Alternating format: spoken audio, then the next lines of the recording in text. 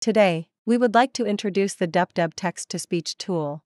As the world's leading text to speech platform, DupDub offers over 400 high quality voices in 37 languages. What sets DupDub apart from other platforms is its robust editing features, which enable you to customize your audio and make it sound more natural. Let's now go through how to use the DupDub text to speech tool. Step 1 Input your text. Just manually type or copy the text you want to use. Alternatively, you can upload a document, audio, or video file, or provide a link to a video. If you choose to upload a video or audio file, it will be transcribed into text.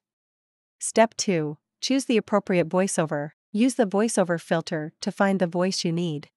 You can filter by language, scenario, style, gender, and other criteria to find the voiceover that best suits your needs. Preview your audio by clicking here. DupDub Voice Studio is a powerful and AI based voice editor. Step 3 Edit your audio. With over 20 voice editing tools in the DupDub Studio, you can make your audio sound more natural. For example, you can use the background music feature to insert background music into your audio. DupDub Voice Studio is a powerful and AI based voice editor. Or add lively sound effects.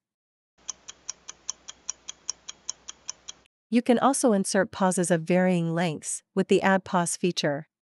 In addition, you can adjust the speed and pitch of the audio to create the desired sound effect.